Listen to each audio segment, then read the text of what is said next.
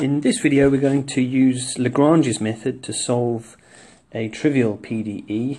Now this is totally overkill but it gets us used to the method and just shows that everything sort of matches up with what, what we learned earlier in the course. So the PDE we're going to consider is this fellow, du by dx equals 0 and of course we could just solve that simply by integrating with respect to x whilst holding uh, y constant and then we'd find the solution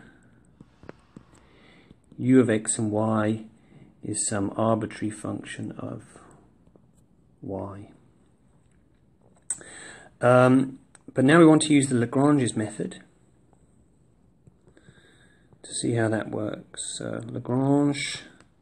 And the first thing we need to do is we need to identify the coefficients. So the coefficients that we were calling A, B and C. So A is whatever's in front of du by dx, so that's just 1 here. B is the coefficient of du by dy, so there's no no times du by dy, so that's 0. And then finally c is whatever's left over on the right hand side, so that's also 0 here. Okay, so very simple.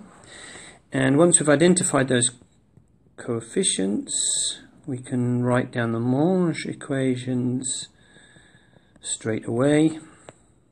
We only need two of these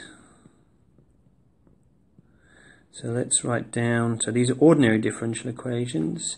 So dy by dx is b over a, b over a, so that's 0.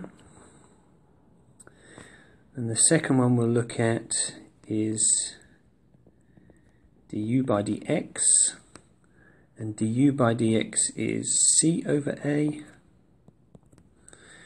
and that's uh, also 0. So now we've got two very, very simple uh, ODEs, which we can simply solve. So dy by dx is 0, so that means that y is a constant.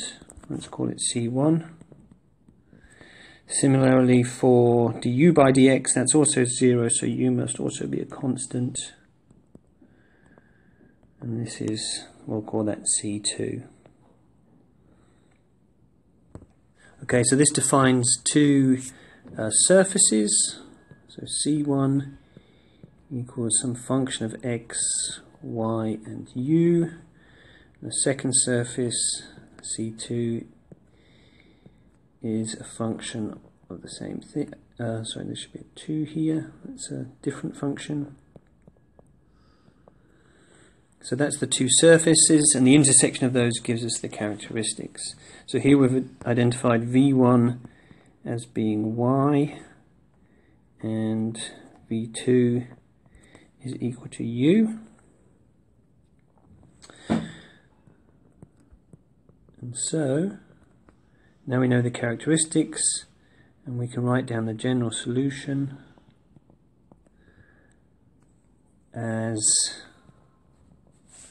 v2 equals some arbitrary function of v1. So in this case, this tells us u equals some arbitrary function of y. And that's our final answer, obtained through Lagrange's method.